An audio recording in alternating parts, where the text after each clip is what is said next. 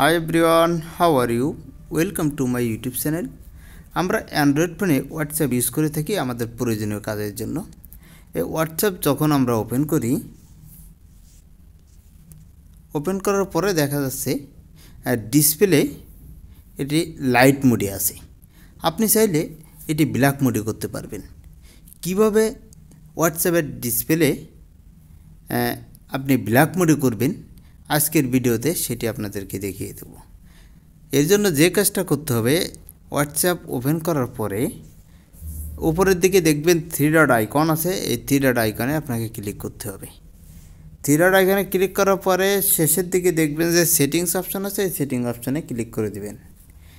Settings অপশানে click করার পরে আপনি এখান থেকে চ্যাটস একটি অপশন পাবেন। এই অপশানে ক্লিক করে দেবেন। এই অপশানে ক্লিক করার পরে আপনি এখান থেকে নামে যে অপশানটি আছে, এই অপশানে ক্লিক করে দেবেন। এখানে ক্লিক করার পরে আপনি এখান থেকে দেখতে পাবেন যে ডার্ক মোড। এই ডার্ক মোডে আপনি ক্লিক করে দেবেন। ক্লিক করার পরে আপনি এখান থেকে ওকে অপশান আছে ওকে অপশানে ক্লিক করে দেবেন। ক্লিক করার পরে দেখুন অটোমেটিকলি কিন্তু ডার্ক মোড হয়ে গেছে। এখানে আগে ছিল লাইট মোড, এখন ডার্ক মোড হয়ে গেছে।